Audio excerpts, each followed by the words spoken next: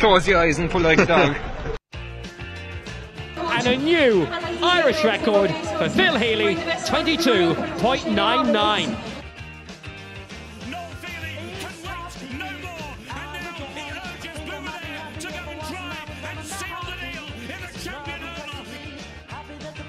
Christy Cooney hands over the Sam Maguire Cup to Graham Canty, Cork All Ireland champions for the seventh time ever. Hello and welcome to episode 29 of the Star Sport podcast. My name is Jack McCarran of the Southern Star and I'm joined as always by Star Sport editor Kieran McCarthy. On today's show we'll be looking ahead to the to Sunday's All Ireland minor football final between Cork and Galway and speaking to Cork manager Bobbie O'Dwyer. We'll also chat to Ephie Fitzgerald, who stepped down as Cork ladies football manager following their All Ireland semi final loss to Dublin on Sunday. Later in the show, we'll also preview the West Cork League, which kicks off this weekend with a full round of fixtures in the Premier Division and the Championship. But first, Kieran, we have to look at Sunday's minor All Ireland final. And no one could have predicted the run Bobbie O'Dwyer's side would have had this season when they were soundly beaten by Kerry earlier in the year. Yeah, very true, Jack. Go back to the start of May. I think it was up in Páirc Ring on a Tuesday night. Kerry 319, Cork 19. That was a what 16 point hammering, and it looked pretty ominous at that stage, to be quite honest with you.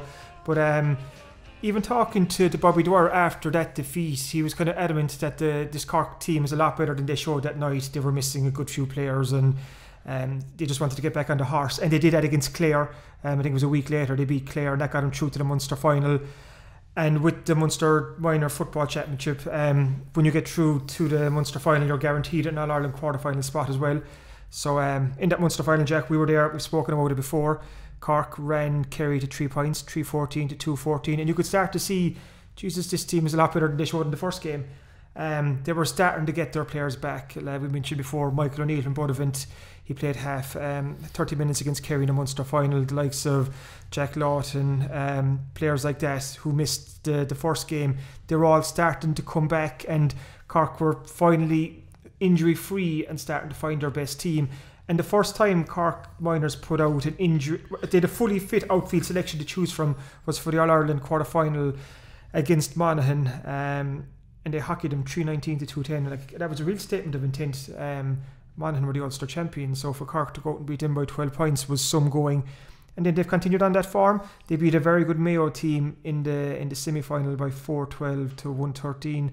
And all of a sudden, after losing by 16 points to Kerry in the first game, the Cork Minors find themselves in an All Ireland final, ironically against a Galway team that beat Kerry in that other semi final. So um, you've a, you've a Cork and Galway final, and two of them are both beaten provincial finalists too. So it's kind of an interesting one. Uh, well, other than the Galway victory over Kerry, do we know much else about this Galway team? Who, who, who are going to be favourites lining out on Sunday? Um, it's a it's a tough one. They've um, like like we'll hear from Bobbie now soon, and like he mentions that they they've met in two challenge games, so they kind of know each other well. Um, I'm not sure how much you can ever take from a challenge game, but Cork have some idea of what they're up against. Um, it's it's a it's a Galway team. Sorry, that doesn't concede too much. Um, go, go back through their their uh, their um their run through Connacht. They conceded one ten against Sligo, eleven points against Mayo, one four against Leitrim. Um, Ireland quarter final they conceded fifteen points against Kildare and only thirteen points against Kerry in the Ireland semi-finals. So they don't concede too much. Um, like all Galway teams, you're going to presume and assume that they're they're good footballers, they're skillful footballers. So they will they will pose Cork a, a fair few problems, but this is a Cork team, kind of high in confidence now, kind of injury free, playing good football. Um, so yeah, so Cork should be full of confidence going into this game, and I, would fancy Cork to win this, Jack. And um, seeing how much they've grown and developed over the last couple of months, it's um, when you consider actually that the Munster Minor Football Championship was revamped this year. Um, if, if you go back to previous years, Cork were always a team that ran Kerry very very close. But if Cork were unlucky enough to lose by a point or two to Kerry in a Munster semi final, um, their season was over. So maybe after two games, that was it. The Cork Minors were they were packed up and put away till the following year.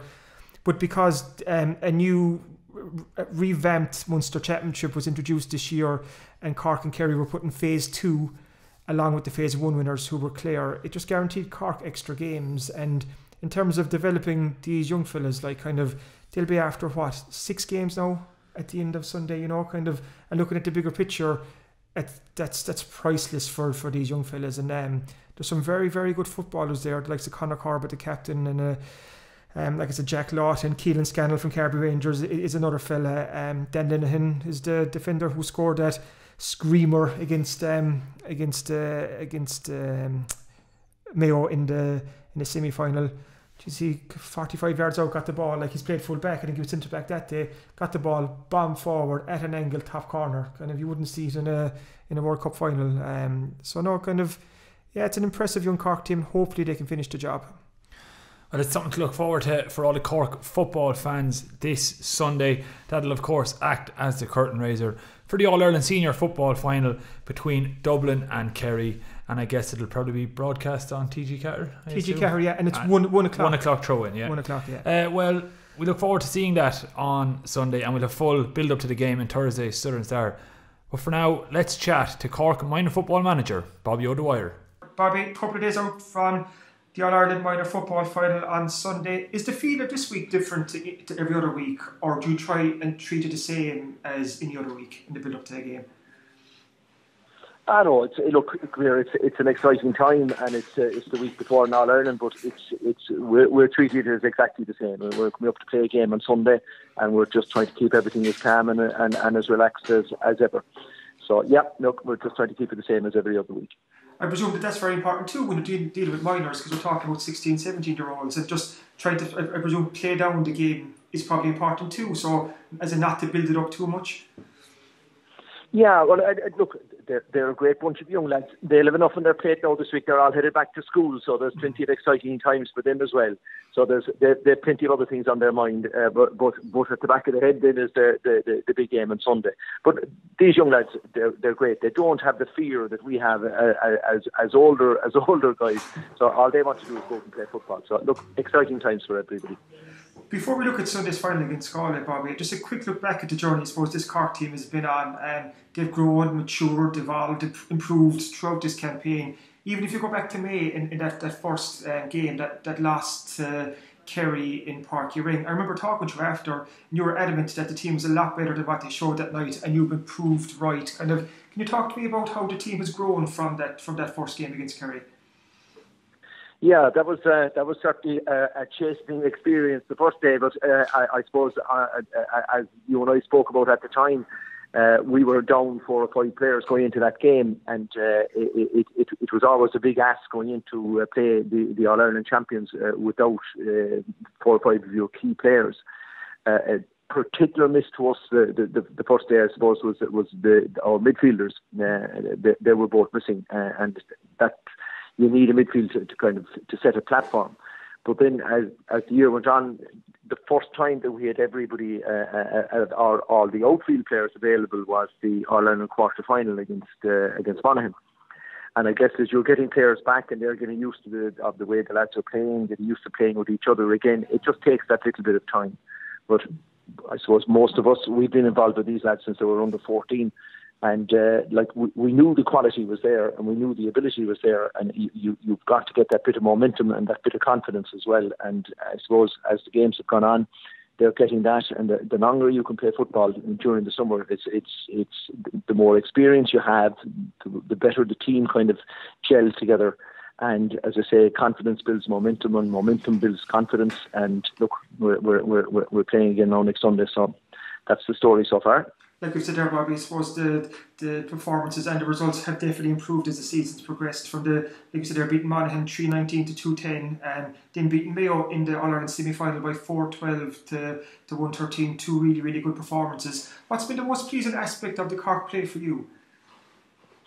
Well, I I, I suppose it's it's it's the way that everybody's playing playing very well together. They're they're, they're playing as a team. There's nobody that, that that's one of the key things that we would try to have worked with the lads all year is, is the importance of team and how everybody contributes to that team and and, and uh, nobody is above the, the, the whole team. And they're they're a great group of, of, of young men and they all buy buy into that attitude the the work rate the work rate of our forwards has been excellent. It's, it's the work rate of our midfielders in giving us primary position uh, possession, and I suppose the, the the the ability of our backs to to reduce the number of scores that are going in against us. So all in all, it's just everybody pulling together, and uh, once everybody pulls together, you've got a chance in the game. How surprised are you that it's Galway that Cork are facing on Sunday? I think the Kerry were were they going for, for, for six in a row this year? Was it um, kind of and Galway got the better of them in this in, in the semi final? How surprised are you that it is Galway that you're facing? Well, I, I suppose, in fairness, uh, Kerry would have been favourites for that game, but uh, the other side of it, uh, Kieran, is, is I, I'm not overly surprised because it's a very, very good Galway team. We've we played Galway twice. Um, uh, I think people tend to forget that uh, Galway last year were in the All Ireland final and Kerry beat them in the in, in the final.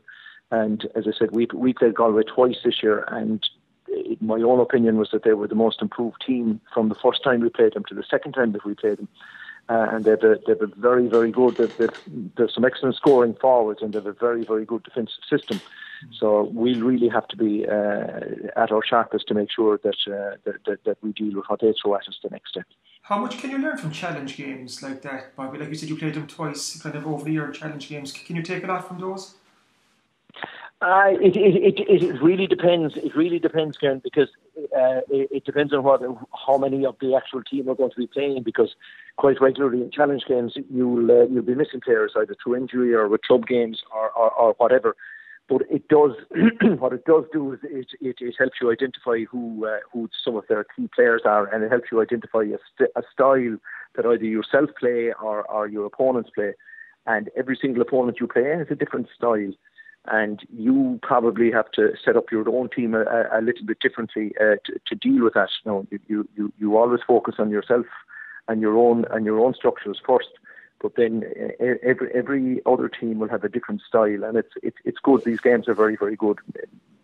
Um, An intercounty game has a particular pace and intensity you may not see in a in a different game. So overall, they're very helpful obviously Croke Park is going to be absolutely hopping on on Sunday with the, the Kerry and Dublin senior final to kind of to come afterwards. But for for these young Cork players to have played that semi final against Galway and Croke Park, like they've had the, the feel of Croke Park, the taste of it, they've run out in the pitch, they've seen the dressing rooms beforehand. How much would that help them, that, familiar, that familiarity for the, for the final on Sunday? Oh.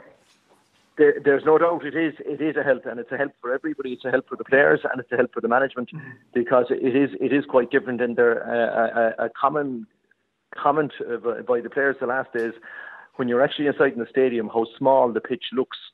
Uh, which you know a, a, football pitch is going to be the same size no matter where you are. Uh, by and large, there might be a couple of meters of a difference, but because of the size of the stadium around it, when you're actually standing in the pitch, the pitch itself looks quite small. But the 45 metre line is still 45 metres from the goal. The, the 20 metre line is still 20 metres from the goal. But uh, you know, it, it really does throw you out when you go in there first. Uh, the, I tell the story. I, I, was sitting beside Danny Lennon uh, on, on the way up to the game the last day, and I was asking, had he been in Croke Park before? And uh, he was telling me he had never in his life been inside in Croke Park. And then, then he goes on and, and he scores a, a wonderful goal uh, against Mayo the last day. So the, these boys, they, they'll seize the moment and don't have the fear, and we encourage the lads to play without fear. So, so we're really looking forward to the game the next day. Brilliant. I know the team has been named this Thursday, Bobbie. Just checking, kind of injury wise and so on. How are, how are you fixed? Uh, look, everybody, everybody is fit, and everybody's. We've, we've, we've a lot of young lads there trying to put their hand up to make sure that they're part of the team uh, for, for, for next uh, Sunday, whether that's on the starting 15 or on the panel of, of, of 24. So everybody, everybody is keen to make their to, to, to put and they're just such a wonderful group of young lads. And the toughest part of our job is is, is talking to the young lads who are not going to make the, the, the match day squad, but the the the the ability of the lads who will be playing has been upped considerably in the last couple of months because of the efforts that are put in by the rest of the squad. And it's just we are so thankful to, to, to the efforts from everybody, and and uh, that's going to make everybody better for Sunday. Brilliant, Bobbie. Thanks so much for joining us. We realise how busy you are this week in the build up to Sunday. So from everyone here in the Star, the very best to look on Sunday, and hopefully hopefully Cork will get the win that we all want. Yeah, thanks very much, Kieran. Take care. Good Brilliant. Cheers, Bobbie. Thanks for that. Appreciate your time. Okay. Thanks, Bobbie. Thank you for listening to the Star Sports Podcast.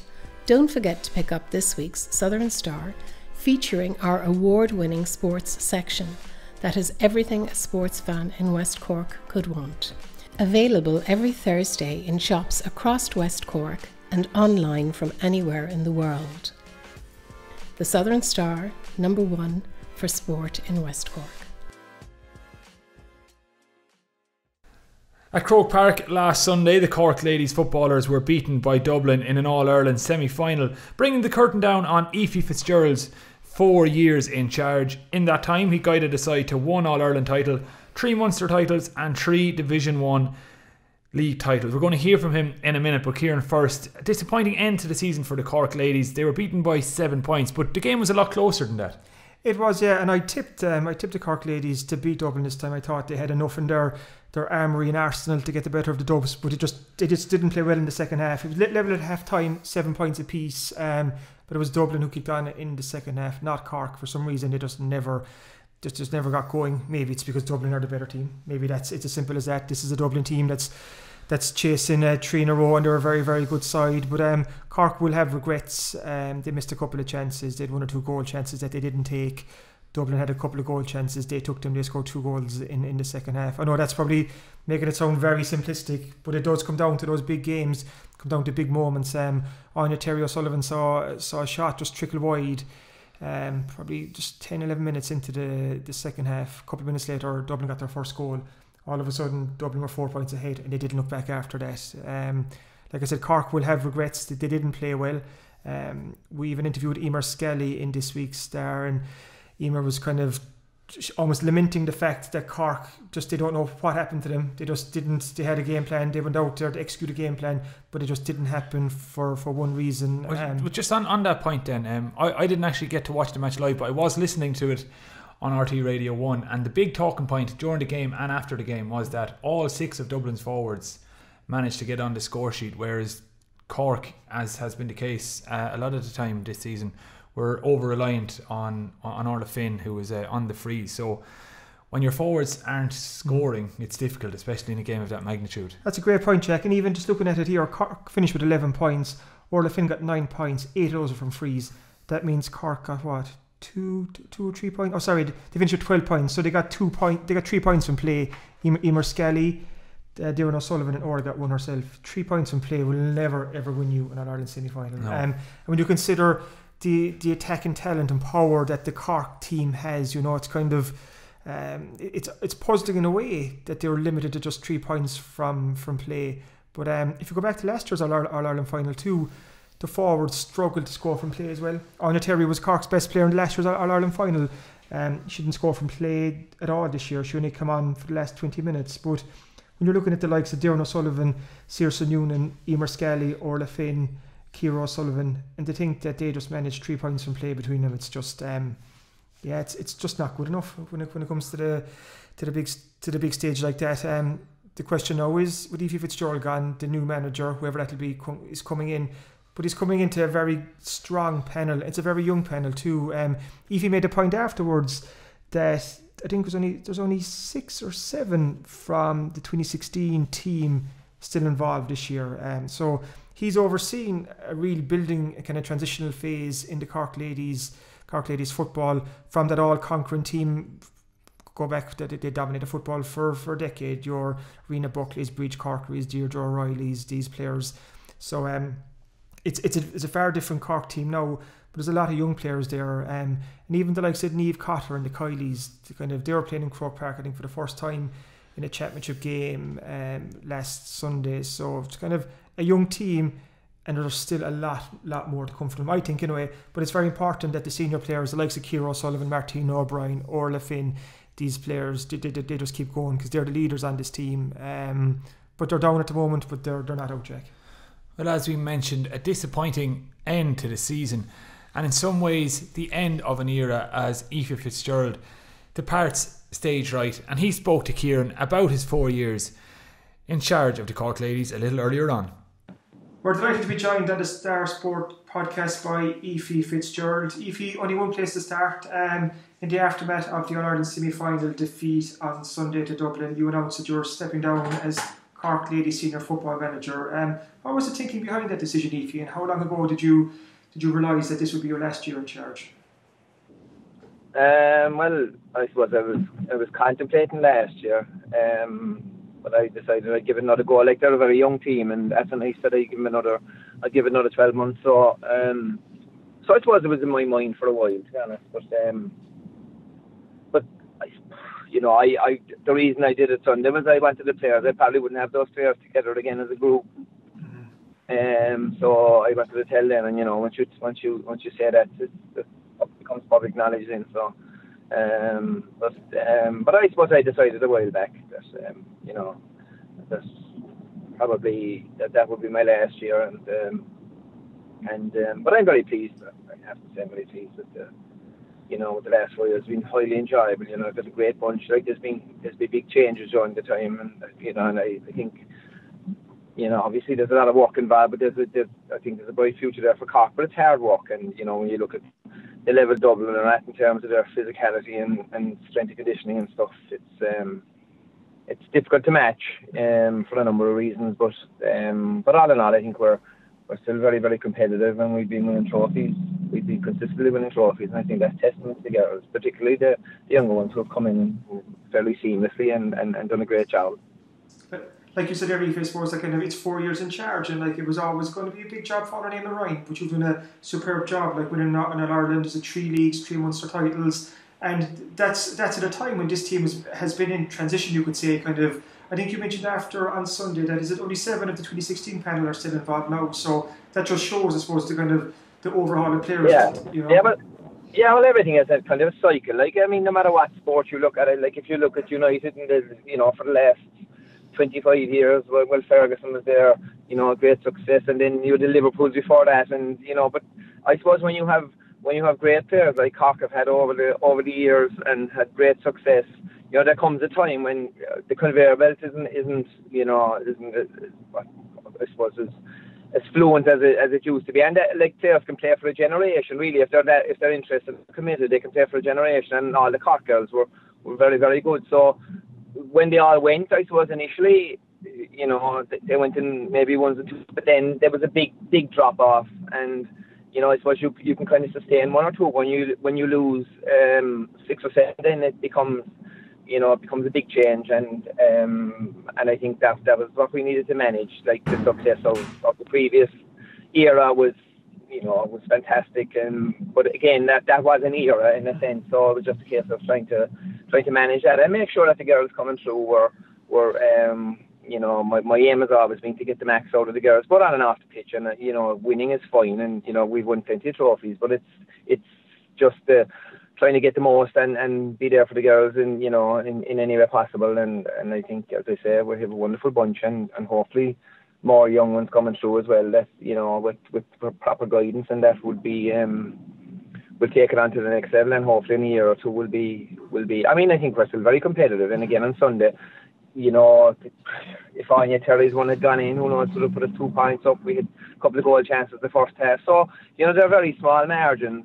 Um, you know, the, you know, I suppose I'm going into the match now, but the, the you know, the yellow card, that's particularly Marmini's yellow card, had, had a big impact on the game, I felt. Um, you know, Dublin were able to come at us and, you know, their, their strength and their power last quarter hour they were was, was evident. But all in all, I think it was a very competitive game and, you know, we, we went up there to win and hopefully, you know, very focused on, on trying to win. But we just felt a little bit short. But um, but there are a number reasons for that. But I I, I do think that I have to be satisfied with you know with how things have gone because I, I don't think the girls going to give me any more. Like we've seen a definite improvement in this Cork team even over the last couple of seasons, and like Dublin are, I suppose, the pace setters at the moment. They're going for, for three in a row, but Cork have really pushed them for, for the last couple of years. How, how far do you think Cork are off Dublin, and what do Cork need to do, I suppose, to, to, to bridge that gap that's there right now? You think? Well, I don't think, in, in lots of ways, I don't think the gap can be bridged in terms of, like, if you look at the ge- geographical side of it, now Dublin girls are all at Barnwell Healy you know, all the Dublin girls are based in Dublin. They're probably within 45 minutes uh, of their training grounds, and so they can train collectively. They can do their their gym work collectively and their field work collectively. Whereas we would be, you know, we'd have girls scattered all over the place, and it's very difficult to coordinate it, particularly from the point of view of the, the strength conditioning side of it, because you know it's very technical work, and you know with the best will in the world, like we had Kevin Tappan has been absolutely brilliant with us, um, looking after the strength conditioning side of it. But when he's not there, it can be very difficult to, to, to know whether the girls are doing properly, etc., etc. So, um, so there, there, there's you know, the, the distances the girls have to travel to training as well. I mean, the dis- even on Sunday going to the match, we went up on the day Sunday because the girls wanted that, but some of them had to travel from West Cork uh, Cork to get a bus to go up. Now whether that's a factor or not in terms of us, you know, getting tired in the end of it, who knows? It's it's difficult to know, but but it's very hard to get that level of of um, of conditioning, and as well as that, then I mean, I I you know I I can't really comment on on, on in terms of um, what kind of funding the, the the Dublin girls are getting to, to prepare, but you know our county board here do their level best, but it's a it's a difficult job, and it's because you know. It, funding in, in the ladies' game isn't isn't great because of the crowds. You know, we just don't get the crowds at the matches and that. So, um, so like we will be from a football point of view. I don't think there's anything really much between the between the teams, but from from the collective and you know get, getting people together and that it's, it's uh, probably a different ball game. Um, the, the biggest, the, the, I suppose, the most upsetting thing for me over the period would be the, the standard of refereeing. I think it's you know I, it's crazy to be honest with it. Some of the decisions you know, I have no, I have no problem. Like, I'm not questioning any referee's integrity, but like some of the stuff that goes on and some of the decisions that are made, I just find it very hard to. When you have girls going, like Ciara has been sent off there by one by Maggie, what's her name, Farrelly for the last three matches. Now Ciara's not Duffy Clare any stretch of imagination. Three in a row. So you know when you look at things like that, and the Meany, the Meany thing the other day, the, the, the, the tackle she was supposed to set Sinbin for, you know, those those things, they amaze me at times, to be honest about it. And that's not being you know, negative about us losing and all of that. It's, it's, it's nothing to do with that. But that has been a trend. And I, I look at matches and, you know, you look at the Mayo match, the, the, the previous to that, the Mayo Galway match, and you can go back over over lots of games.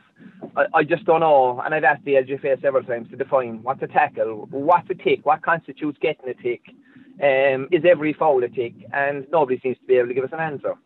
You know, and that for me, for Oh, so sorry if I was going to say, is, is, is, is, that actually something that the LGFA should look at going forward, just to try, like you said, define the tackle, like for the rules to be a, a, lot more clearer? Because I actually heard something during the week as well. I think I was listening to Off the Ball and Newstalk, and, and there was someone on there saying that um, that that when matches are being televised, that there's a referee inside with the with the um, with, with the match day kind of television studio, and they're actually watching the game too, and they're they're in contact with the referee. I'd never heard that before. I didn't even know that that existed. It's almost a type yeah. of type of VAR, and I'd never heard it. You know, so it's kind of it's those little bit of inconsistencies that we probably don't know what's going on. Yeah, and and as well as that, I mean, when you're looking at a game as tight as Sunday's one was, you know, yellow cards are going to have a major impact, and you know. Like up to the point of, of Eimear being sent off, Dublin didn't create a chance, a goal chance when she did, now I know you could argue that their girl was sent off as well, and but like when she came back on, they were able to run at it, and it, it does like that ten minutes has a major impact, particularly on the way we set up and that has a major impact on on the game itself. Now, did it warrant that? It didn't. I mean, we played more or less 20 minutes of the second half with 14 players, um, and I don't, I don't think, you know, I don't think it was warranted. No, no, that's us. That goes on in in lots of games, you know. Um, so from the point of view, when you're going out, when you're going out in a championship match, what you want to be able to do is go with a reasonable. Obviously, if there's a very bad tackle, if, if it needs to be a look at, fair enough. If it's a very obvious thing, but but like for for things that I would consider as being fairly trivial and for for contact. I mean, if you look at some of the contact on Sunday that wasn't uh, picked up on, and then Eimear got you know, got the ticks for what I would say was re- relatively innocuous. Maybe one you could say, I agree, yeah, but uh, but like the impact that had, uh, the overall impact had on the game, I think was was a lot more than what the punishment merited. You know, so and that's the problem. I think that's a problem. You know, not just in relation to Sunday, but that's a problem going forward for the LGFA. I mean, you, you talk about yellow ca- like are they are they going to let it go because it's different referee referees interpretations of it. Mm-hmm some referees will let things go, which is fair enough if if if if if, if it's like that, and other referees then will be very finicky, and then you can end up with two or three in the in the same. But like we had we had Maggie as well as it happened for the league final, and Aisling Hutchings got a got a, a yellow card for.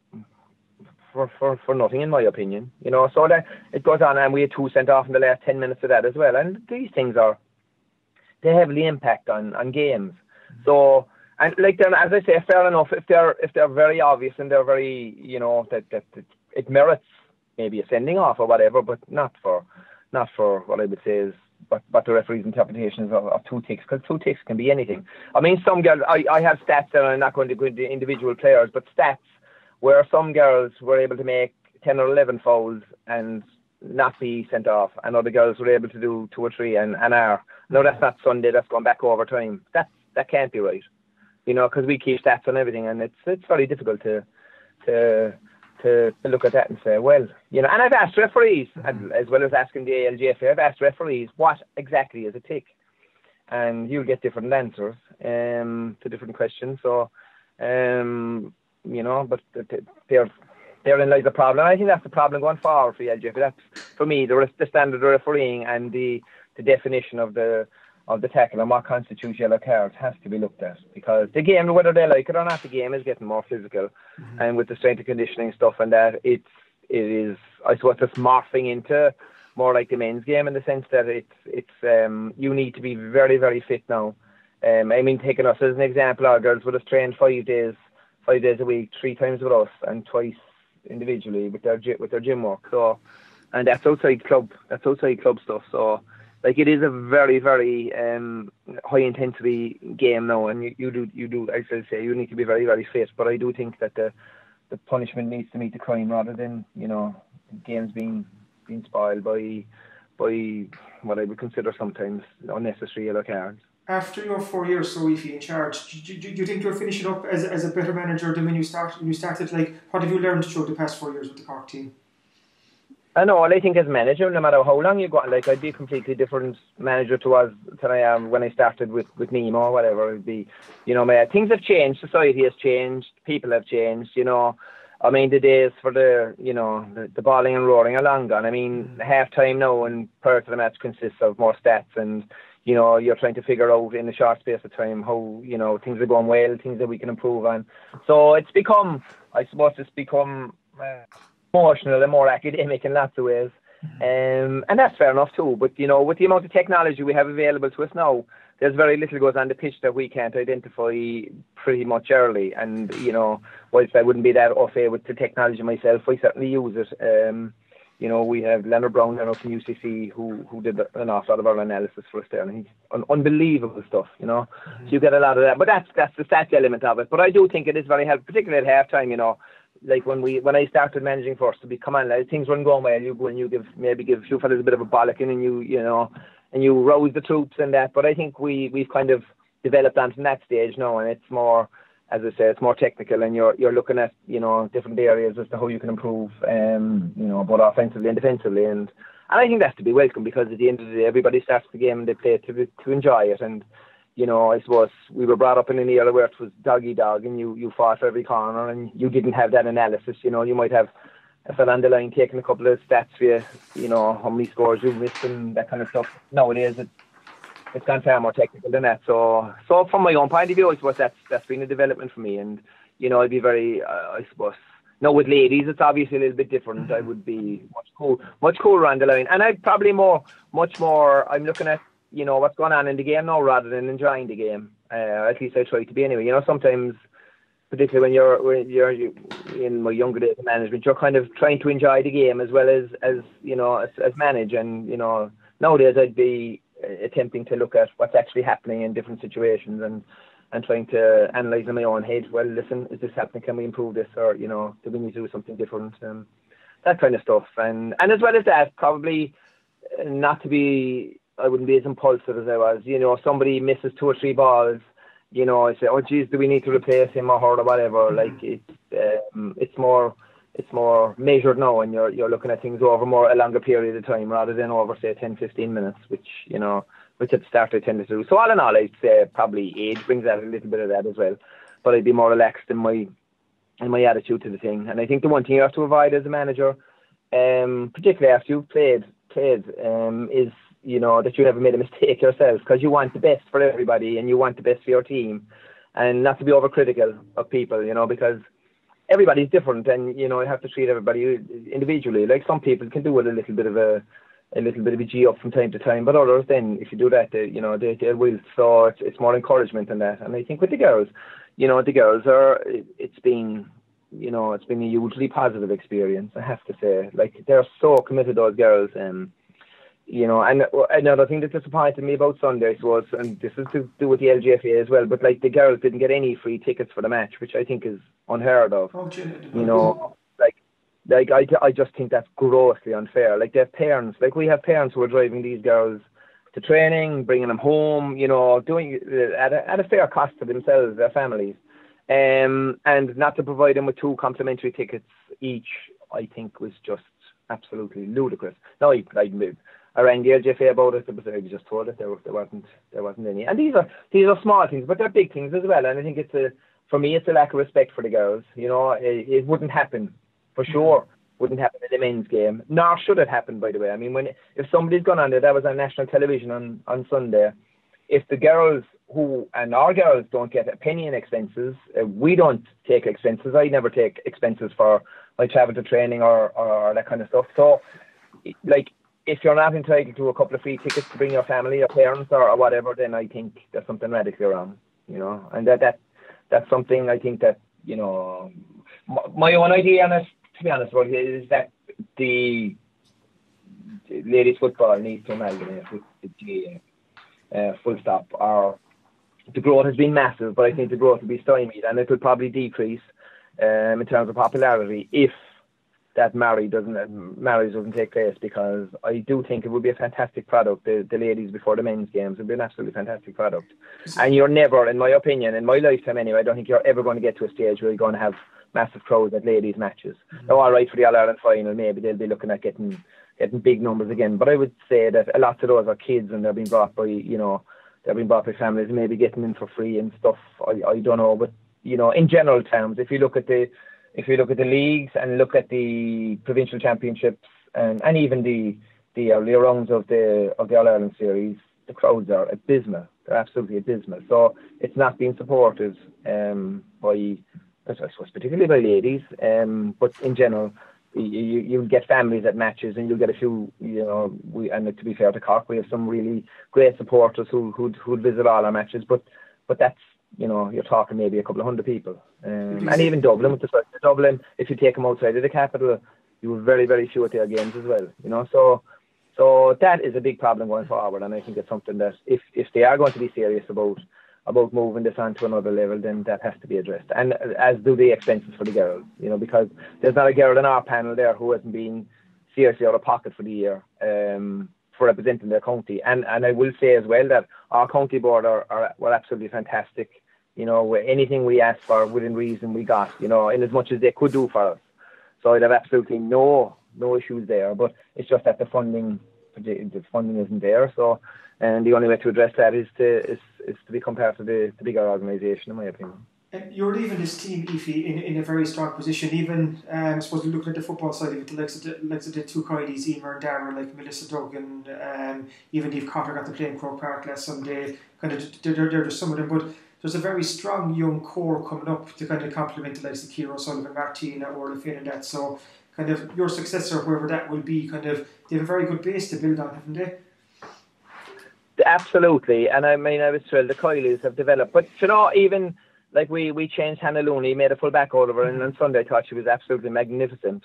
You know, um, like we've tried things, we've changed, we've changed Aisling Hutchings so many times, and it's just trying to fit girls into into positions that would suit a new team in a sense. So that was very enjoyable as well, trying to get the best out of all of the girls we had. I mean, Ciara was probably the only one that was really established on the previous, you know, during Naaman's time. So the girls that were coming in, even though some of them had been on the panel, would have been kind of fringe players, and to see their their development, you know, I the likes of Mara Callahan and and you know Aisling. Um, no, I know Aisling had been on and off, but like Orla Finn, even you know, like their, their their development over the last few years has been like that's been a great source of of um, I suppose encouragement for me number one and, and number two the, the satisfaction that you know they develop so much and that they're they really are. Not only are they are they excellent footballers but they're great people as well you know and that's the most important thing I think when you finish up that you know you've made great friends out of it, and and you know it may take Cork another year or two to win an All and it may not happen for a while. Who knows? But I think once you're knocking on the door,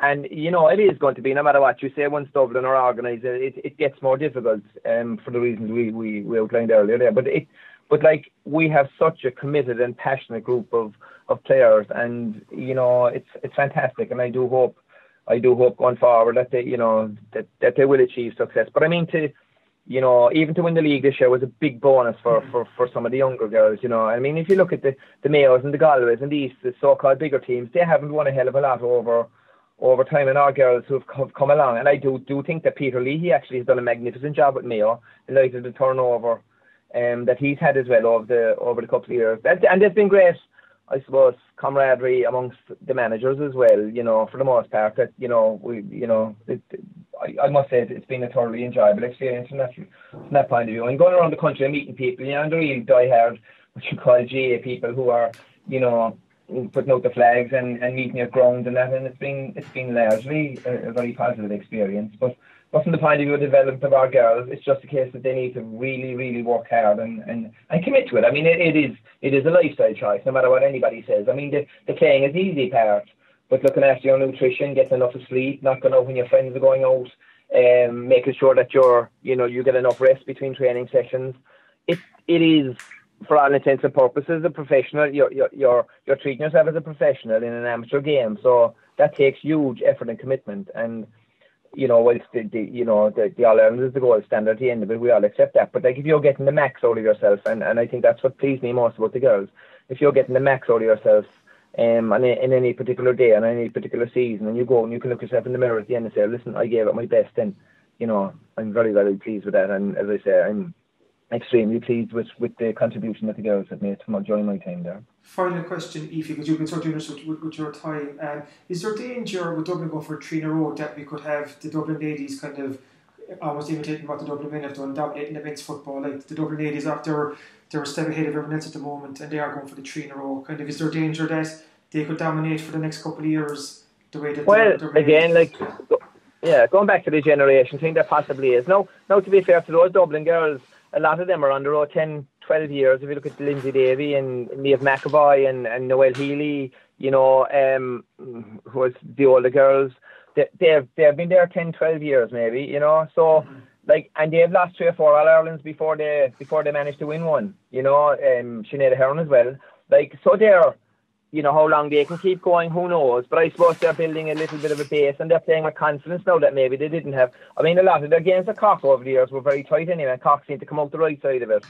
But I think that, that Cork, you know, the, the, the great Cork teams, we say, had had that physicality that we're probably lacking a little bit at the moment. They, they were naturally strong girls. Like if you look at Angela Walsh and, you know, Bríd Stack and, and Rena and, you know, the list goes on and on and on. Julie Muff, they were all big girls, big, strong girls naturally, you know, so that you know that that I think what we're producing at the moment is the girls outside Niamh Cotter, who's quite a tall lady, but like the girls aren't naturally what you call naturally very strong. So that's something that needs to be built up over time.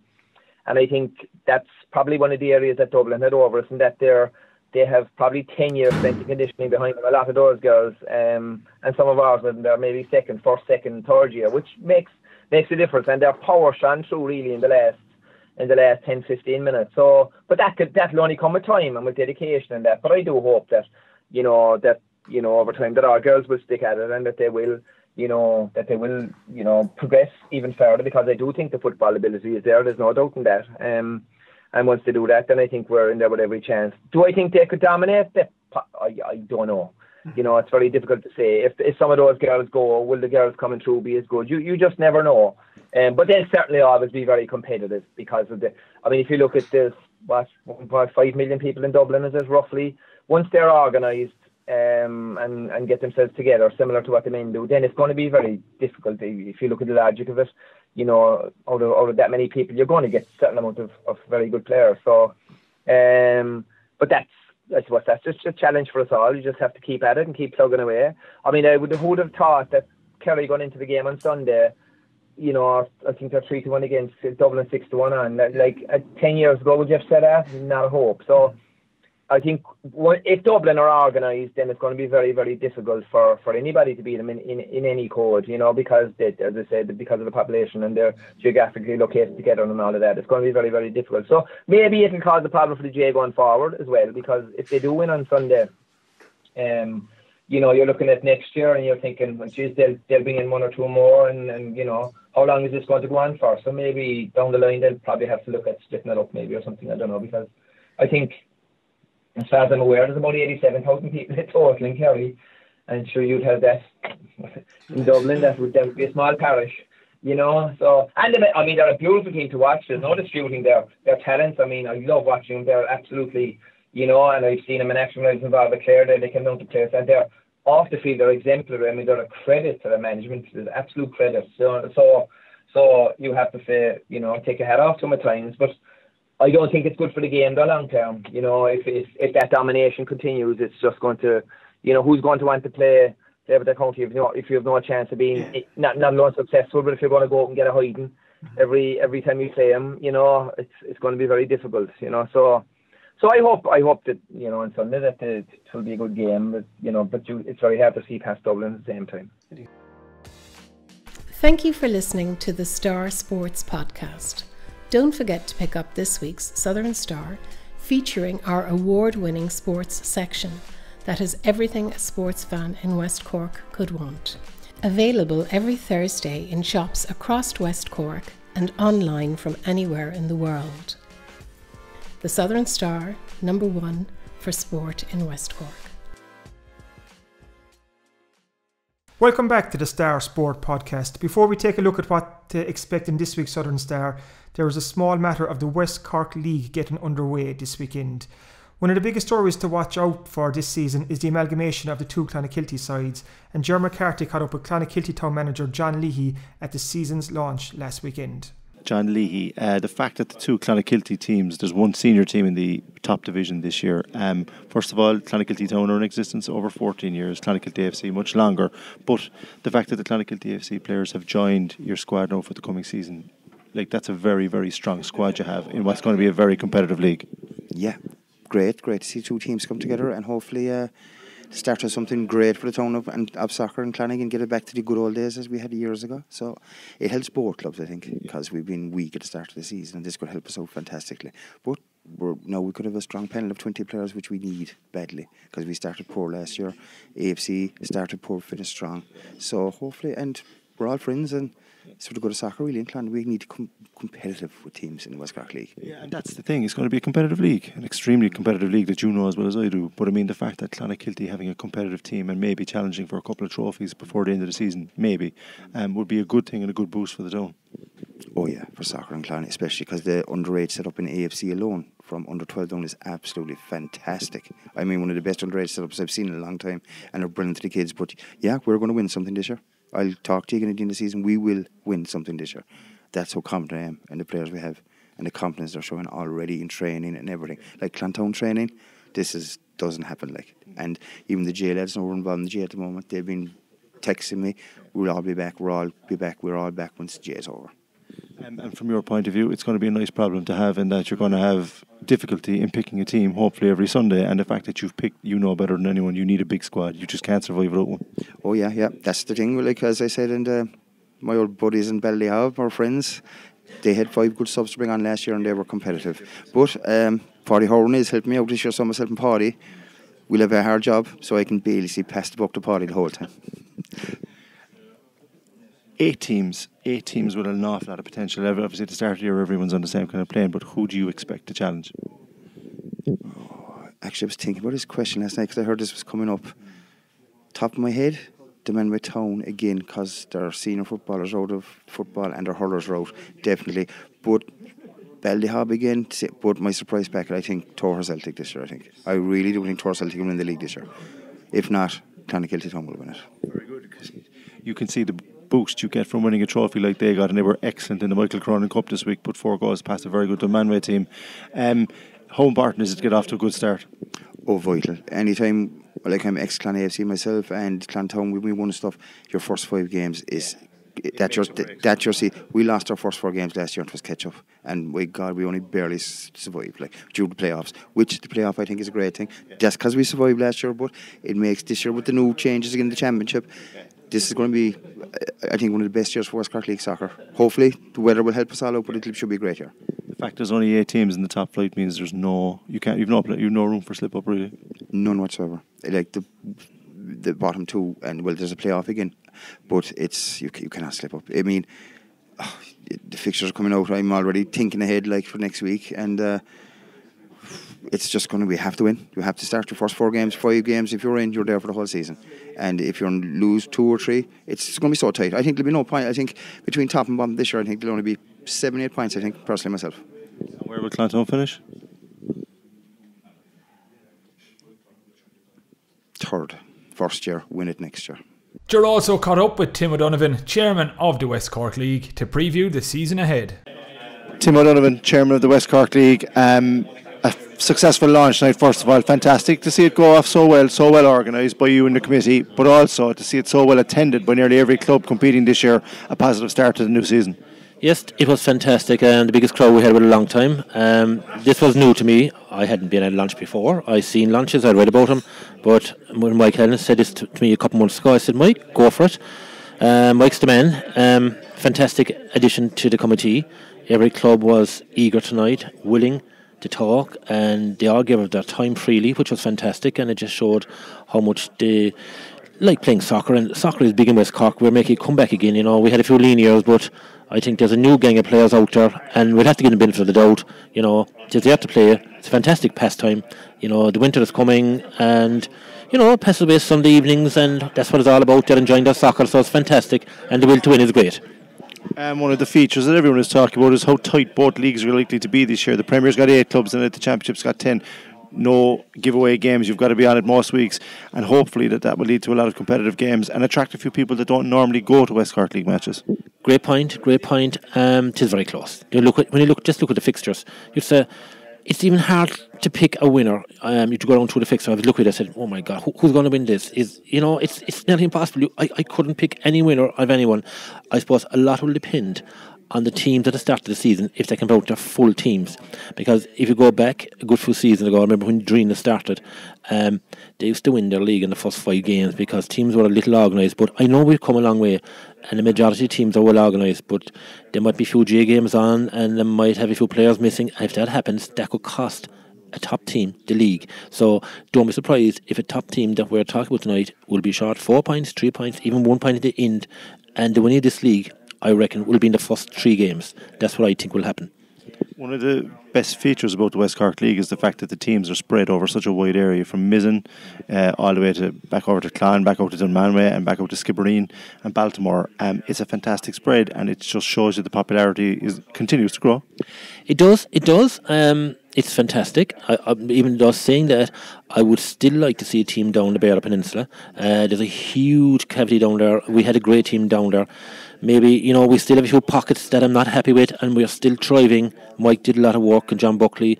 Um, there were the last three weeks we were trying to get teams back, but you know we still keep working at it, and um, we're trying to encourage everybody. There's a huge area in Mid Cork that soccer died, and it's coming again. Now there's a big area out, as I always say. If you sit in a car and you drive to Skibbereen, unfortunately, Arfield are coming. It'll take a year or two before they're on the age would click back in. There's another team in that area. There has to be. We need to get a team back up in Bear Rovers, and if we can get one in the Beara Peninsula, I'd be happy. You know, no, you know, it's maintaining what we have as well, because a team has a bad year. It's hard to motivate them the following year. But looking at the crowds tonight, like even the teams in the first division, like there's a lot to play for there. The top six, the bottom six. I was involved last. year. My son was involved in Lawyer. Very exciting um, pay the price because he couldn't get a team out. But just look at it, there's awful lot to play for. Like to get into the top six, you have a chance to get into the Premiership. Anything could happen. Like you could struggle to get to number six, you could win the playoffs, and you could still get up. But you know, there's a lot to play for. It's huge excitement. I'm delighted. I'm thrilled to pieces. The, um, tonight it went off fantastic. So who knows what'll happen? But as I said, I think the leagues will be decided in the first three games. If the, if if there's points dropped. I won't say foolishly, but shouldn't have been dropped. You only get one chance. It's going to make it so exciting. Every game is going to be. It's going to be tough for some of the teams. There's no question about it. You know. Um, no, I suppose we're all watching Doris. Doris had a great year last year. They beat Drinagh in the Carling League Cup, and I actually think they could surprise because you know the guys that are up there already, the regulars, might think ah, should have coming up and, you know, we, we'll teach them a lesson. But I'm just looking at them, I'd say they were afraid of nobody last year. They blew everybody out of the water. So I think they'll survive. And I think if they had a full team going out, they could surprise a lot of teams. And just finally, Tim, what are you most looking forward to? What are you hoping for, I suppose, between here and the end of the season? I suppose, you know, every year I'm, I'm on this committee you now. Like some people, may say, my wife might say too long, you know, and it amazes me every year something different pops his head. And at the start of every year, I say to myself, what's going to be new? Like, I'm not even going to comment on the stuff I'm talking about because this, of this is discipline. But if you could get a season with very few red cards, um, good soccer played. Now, one thing that does annoy me is very bad conditions. Um, you know, running out of time. I think it's so unfair on players having to play in real bad conditions. I presented cup with nearly two overcuts on me. Um, you know, I like the league started. I really would like that the league started a week earlier if I could. And when the weather comes bad, I would love to take a break and start again. I know we're a winter league and we will always remain a winter league. But, you know, I, I always love to see Dunderdog uh, winning. Um, I spoke there tonight about Bear Rovers. Imagine their first year in 1990 they entered this league. And I can remember at the time, um, they were, Belmont were the hottest of favourites. And I was at match down in Drinagh, and I could not believe it. This didn't stop them. They stuck man to man, they won it. And I would love to think that maybe some lower down division team would take one of the big guns by surprise. If that happened, that'll make my year because if, if a team from the lower division can win, take a scalp, a big scalp off a Premiership team, you'd be surprised the good that does for that team down there. No, the Premiership teams mightn't thank me for it, but that's what I would love to see. Thank you very much. Appreciate your time. Now, before we wrap up today's show and preview what to expect in this week's paper, we have a little competition to run. We've got some books to give away, Kieran. Yeah, what we have is we've four books in total, two Cora Staunton and two Colm Gooch Cooper. What they are, these are great Irish sports stars. They're kids' books, Jack. They're they're they're, um, they're GAA books kind of aim for kids. Fierce interesting. Um, so we have four to give away. Like I said, there's two about the Gooch and two about Cora Staunton. So we'll make this nice and simple. I think kind of whoever wants these books, and you can see them here on our podcast if you're if you're watching. Um, just send us a quick email to sport at southernstar.ie with the subject head I want a book. And the first four um, emails we get in, we'll ping a book out to you in the post. So it's, it's that simple. Subject head I want a book and email sport at southernstar.ie. Ideal for kids or anything, or even adults. Yeah, well, I spent about half an hour reading the, the story of the Gooch one day, and uh, I suppose I'm officially an adult. I might Well, that's occasionally act debatable, like, yeah, act think, like yeah. a child, uh, but I enjoyed it, and uh, I'm sure any nieces, nephews, sons, daughters, or little cousins would love if they love GAA, they will love these books, and we're giving them away for free. So get Yeah. get in touch. Now, uh, just moving on from our freebies for a second, we're going to start selling to you because the Southern Star is out this Thursday, as it is every Thursday, and um, it's two euros twenty in stores. Absolute bargain, especially when you take into account what's in it this week. And Kieran's about to tell us what's in it this week. It's action packed as usual, Jack. It's um, 28 pages of the very best of West Cork sport um, in the shops this Thursday morning. So, where to start? Um, like I was saying to Jack off camera earlier, I, I took one week off on holidays, and all of a sudden I come back and the Cork Camogie team was lost, the Cork Ladies football team was lost, Castlehaven are out, Carbery Rangers are out, and now Kilmacabea are out of the Junior Football Championship. So, just on the Junior A Carbery Football Championship, we've um, full report from Kilmacabea and Ballinascarty, which was the probably the shock of the championship so far, Jack. Um, Kilmacabea were going for the three in a row and probably had their sights set on the county. But Ballinascarty scored a goal, I think seven or eight minutes into injury time. Wing back Kieran O'Neill, I hope I have his name right, is the Ballinascarty hero. So that sent Bell through to the Carberry um, Junior Football semi final where they'll play Carberry Rangers. So what we're guaranteed this year in Carberry is a new Carberry Junior Football champion. Um, St James's are already in the final, waiting to see who comes through. In the Carberry Junior Hurling Championship, Kilbree are the team to beat. Um, they were very, very impressive beating Newcestown last weekend. So we have a full report on that. Um, we've obviously with the All Ireland Minor Football Final coming up this weekend. We have a big preview of Cork against Galway. Um, looking back on the Cork ladies' loss to to Dublin, and we also caught up with one of the front runners for the now vacant ladies' football job, John Cleary, to get his thoughts and to see if he is in the reckoning for the top job. So you'll have to pick up Thursday Star to see what John says. Um, Senior football, Clonakilty got the better of O'Donovan Rossa, and like we said earlier, Carbery Rangers were knocked out, but they went down after Herculean effort against St Finbar. So full reports on that. big a big event out west, um, out west west last weekend. Jack was the Beara Junior Football Final against um, Garnish and Urhan. We have a two-page feature on that. It's always a big deal um, to Beara football. It's the showpiece game of the year, so we we're going big on that this week. Um, huge win for for Urhan. They defeated kind of a Garnish, who I think we're going for either the three or three or four in a row. So that's that's big news. So congrats to them. We have a two-page preview of the West Cork League, like we said, that kicks off this weekend. So we have a club-by-club guide to the eight teams in the Premier Division. So um, there's no, no club-by-club guide for the championship. Not yet, um, not yet, but we will do that. Obviously, if you don't know by now, Jack is uh, claims to be Baltimore's um, rocking rocking defence. But we'll see, Jack. You have a bit of pressure on this year, kind of predictions. Tough season ahead. Well, to see the problem is Ilen Rovers are still going strong in the senior football championship, so that's a bit of a drawback for the soccer playing community. But uh, best luck to the Ilen Rovers lads, nonetheless. But come back soon.